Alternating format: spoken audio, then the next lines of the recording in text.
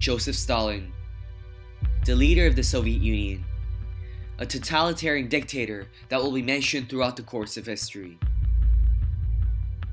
But back in the early 1920s, when he was yet to seize power, no one ever considered Stalin to become the successor of Lenin. So how did this seemingly average man surpass the fierce competition and become the totalitarian dictator of the Soviet Union? Stalin exploited the state machinery and used war power to obtain a higher position. Then through the turning point of Lenin's death, he manipulated alliances and used coercive power to get rid of his rivals to achieve absolute power. Before Stalin seized absolute power over the nation, he only was an ordinary member of the Bolshevik Party. Through the courses of revolutions that swept across Russia starting from 1917, Tsar's regime was replaced by a Bolshevik Party, who implanted a one-party dictatorship by the leadership of Lenin. Soviet Union as a one-party state was a crucial condition for Stalin's rise to power, as Stalin, unlike other totalitarian dictators such as Hitler, did not have to lead a party himself, but had to climb up the party ladder to get power. This strategic rise to power suited Stalin, as while he may have lacked certain charismatic skills, his political trickery surpassed any of his rivals. Yet this was a seemingly impossible task, as between Stalin and his coveted power stood many rivals. There was Leon Trotsky, the leader of the Red Army and a hero of the Russian Revolution, as well as Lev Kamenev, Grigory Zinoviev, and Nikolai Bukharin who all were seen as more capable than Stalin in the beginning. For Stalin to survive in the bloodshed for power, he needed a basis of power for himself, and thus a better position in the party. A crucial condition that allowed this was Stalin's appointment as the General Secretary of the Bolshevik Party. This was possible as weakened Lenin needed a man to take care of his duties, and the others looked down upon this role. Yet this position was what allowed Stalin to effectively use reward power for his own benefits.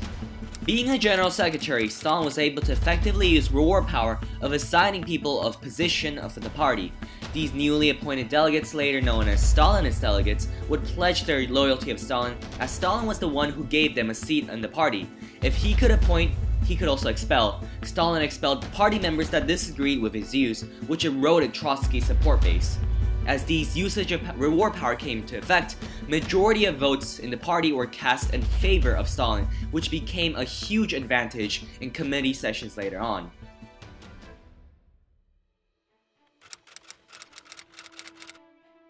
A big turning point as it was the condition that allowed Stalin's rise to power was Lenin's death. From the end of the Bolshevik Revolution, Lenin was in absolute power, and hence revealing any ambition was suicide but January 21, 1924, the absolute leader of the Soviet Union was no longer present. This meant Stalin could now take actions of his ruthless plans for power. Stalin was a master of political manipulation, especially how he formed and broke alliances for his benefit, using coercive power to get rid of his rivals one by one until he was the last one standing. Just before Lenin's death, Stalin formed an alliance with Kamenev and Zinoviev against Trotsky who was the strongest out of all back then. The Triumvirate launched a campaign criticizing Trotsky's arrogance and his unrealistic vision of a permanent revolution, effectively destroying his reputation in the party.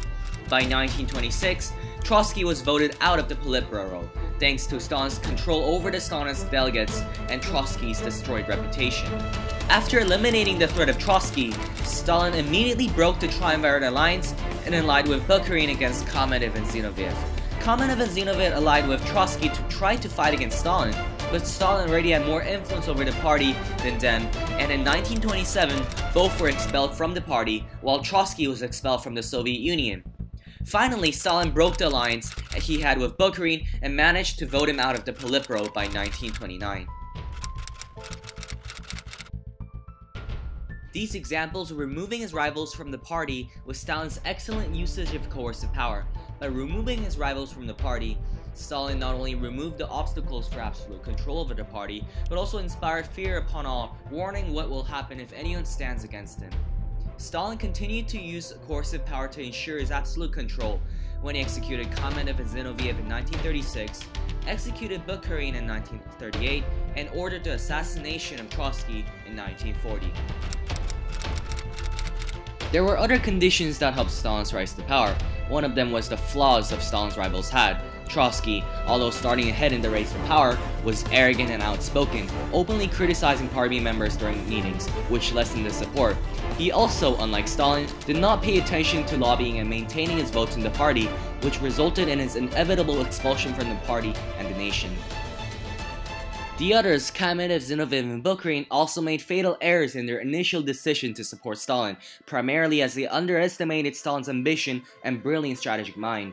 One great example of their mistake is not removing Stalin from position even having read Lenin's testament. Lenin wrote just before death, urging the party to remove Stalin from the general secretary position. But Kamenev and Zinoviev found no need of that and missed a great chance to easily remove one of their most devious contenders.